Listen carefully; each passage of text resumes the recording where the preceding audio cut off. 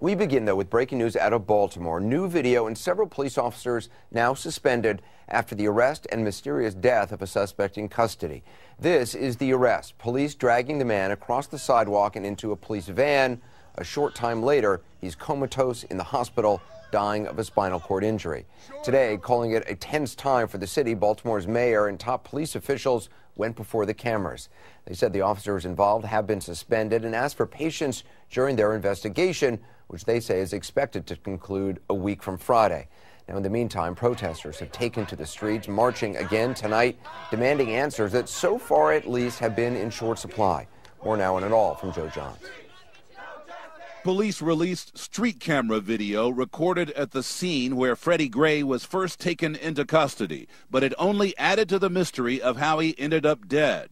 The camera pans but shows nothing that looks like excessive force by police, at least up to the point that he was placed inside a police transport van. When Mr. Gray was placed inside that van, he was able to talk, he was um, upset, and when Mr. Gray was taken out of that van, uh, he could not talk and he could not breathe. Leading Baltimore's mayor to conclude that Gray's injuries occurred not on the street, but during his transport. It's clear that what happened happened inside the van. Police say Freddie Gray was stopped on suspicion of criminal activity, possibly drug related. But that doesn't explain all that happened here. Cell phone video and audio on the street at the time of Gray's arrest paint a disturbing picture. He's on the ground. He's screaming in apparent pain. He's being taken into custody, legs limp. A woman is describing an apparent problem with his legs. His leg broken, y'all dragging him like that. He's taken to a hospital where he went into a coma and then he dies a week later. Question number one is how long it took to get this man medical attention. The city's mayor pledged a full investigation. According to the timeline as we know, it took around 30 minutes. Question number two How did Gray get hurt? Police confirmed that he had severe trauma to his spine, and his family's attorney is raising the issue of excessive use of force. He was in good health when the police first contacted him, and he died of a, an 80% severed uh, spinal cord and three broken vertebrae in his neck. Court documents filed in the case say Gray was arrested without incident after an officer noticed a knife clipped to his pants. He was charged with having a switchblade. The family's attorney says the knife was of legally permissible size. Gray has a long criminal record, including more than 20 arrests. No justice, no peace. The case has sparked a public outcry here, including demonstrations. Over the last week, Baltimore's police commissioner has been measured in his comments about the case, citing the active investigation. He did speak at an unrelated event today at Johns Hopkins University where he talked about the community's lack of trust in the police. Baltimore police are reviewing their procedures, especially on getting medical care for prisoners taken into their custody. And the police commissioner says he wants to wrap up the investigation into the death of Freddie Gray by May 1st. Joe Johns, CNN, Baltimore. Well, that's the backdrop. For more now on how this is playing out in local communities, we're joined by Miguel Marquez, who's been talking to people all day. What are the protests like there? Uh, well, at the moment, they've really calmed down a lot. We had a big rain shower come through here, but this is the Western District for Baltimore Police, the department where uh, Mr. Gray was brought and eventually transferred into an ambulance. Uh, this is ground zero. He was arrested just down the way here, about six blocks away. A commander, uh, Melvin Russell, waded into a very angry crowd here of several hundred protesters. Here's what that looked like. If you killed the person, you asking the wrong person. We totally saying that he was okay before he got put in that wagon. He whole minutes while he was in How? there. How you asking me questions I can't answer? Okay, I can't answer that for you.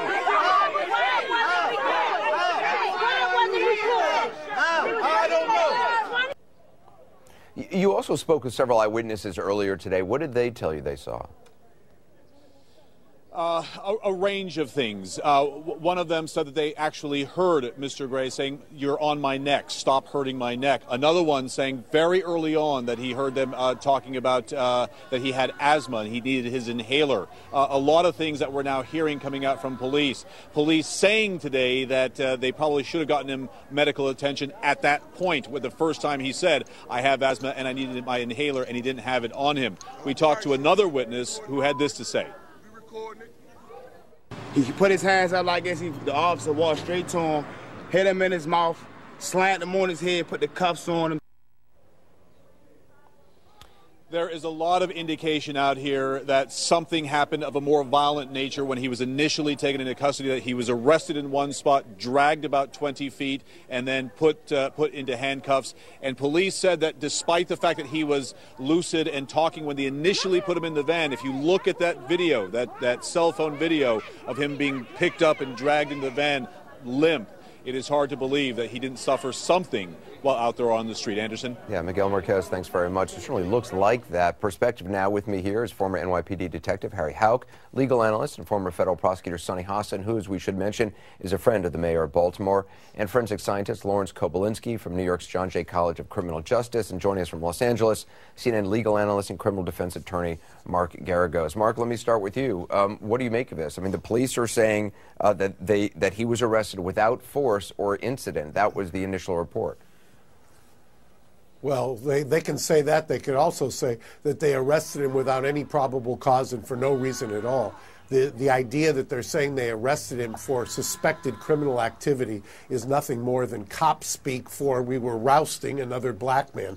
You know, the, uh, the, this idea that they're now saying, well, maybe we should have given him more medical attention because he had asthma. They broke his neck. That's what, that's what the injuries are.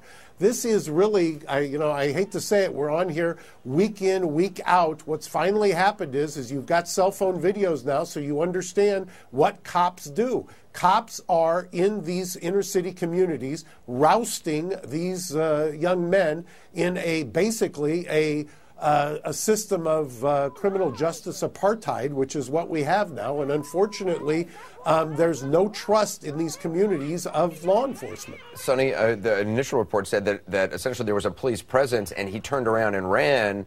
Can police run after somebody just because they've run from police? Well, certainly. I, I, I, think the law makes it pretty clear that if someone is running away from police officers, that may give the police officer reasonable suspicion to stop the person and even to go further and to frisk the person. But I, I think what we have to look at is the, the gravity of the injury and the suggestion that somehow this, uh, this arrest was effectuated without any force. I mean, we're talking about a broken back, a broken neck. That just really doesn't make sense. And when you look at it in context, Anderson, with the situation with this uh, Baltimore City Police Department, we're talking about since 2011, almost $6 million in settlements and civil cases paid by the city for police misconduct. The mayor in Baltimore even asked the Department of Justice to conduct a coordinated federal review because of all the problems that have been happening in Baltimore. So we've been talking a lot about his criminal records and his actions about running. I think in order to be fair and looking at this in context, you've got to talk about the issues, the very serious problems the police department in Baltimore City has uh, has had. Harry, what do you make of this arrest? I mean, to say that that you know, as the police did early on, that it was without force or incident.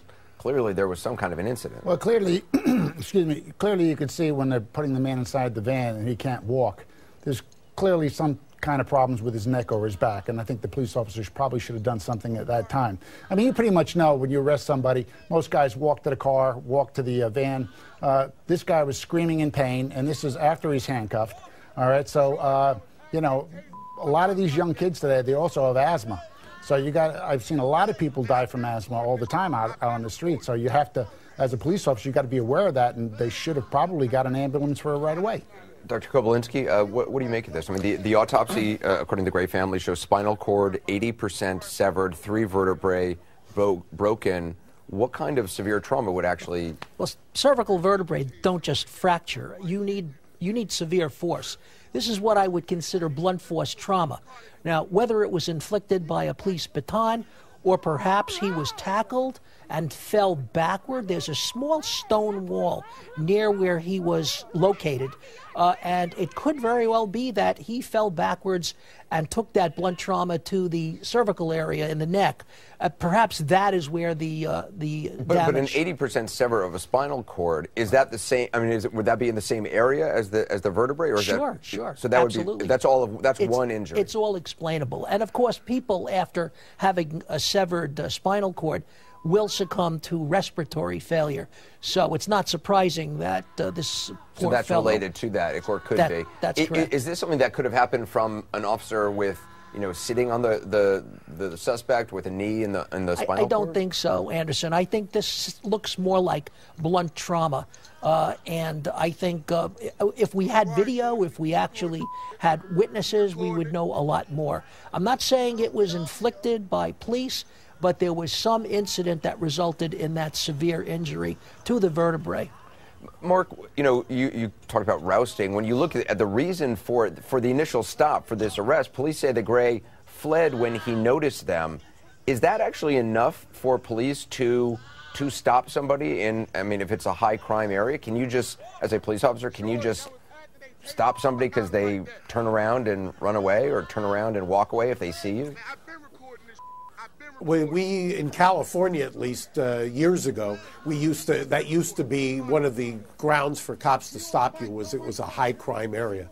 We uh, at one point said no, that isn't enough.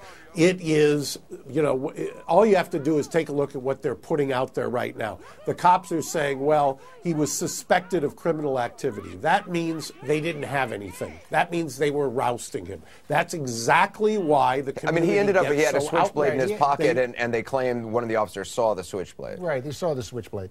Yeah, well, and remember, the switchblade was in the right front pocket, and they claimed that they were chasing him from behind. So either they had x ray vision, or what really happened is they saw a young black man and were going to go rouse the guy.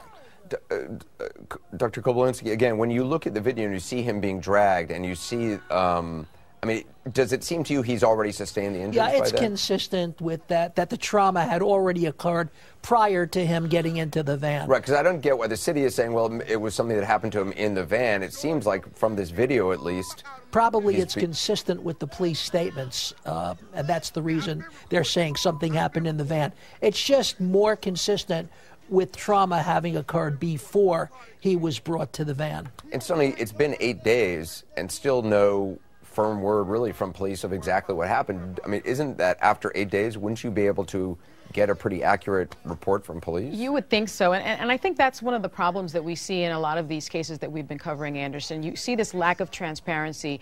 In Maryland, at least, there's this sort of law enforcement officers' uh, Bill of Rights. And so oftentimes you're not allowed to interview and speak to these officers for a period of time. And that is what has been the problem in Maryland. Um, and, and we have to really move towards a place of transparency. What I am happy to hear is that there will be an independent investigation because, again, I don't believe that you can have police officers investigating their own. I don't think you can have the Baltimore State's Attorney's Office investigating the folks that they work with day in and day out. And- so I suspect that's going to be one of the And, next and a 29 minute or 30 minute lag time between the arrest and actually going to the hospital. Right. Does that sound long to you, Harry? Uh, for a severe injury like this? For a guy, for a guy who's been screaming. Yeah, exactly. I mean, the guy can't walk. Get, a, get him an ambulance. I mean, they, they knew he was uh, seriously injured. All right, Harry Houck, Sunny Hostin, Lawrence Kobilinsky, Mark Geragos, guys, thanks very much. As always, make sure to set your DVR. You can watch 360 whenever you want.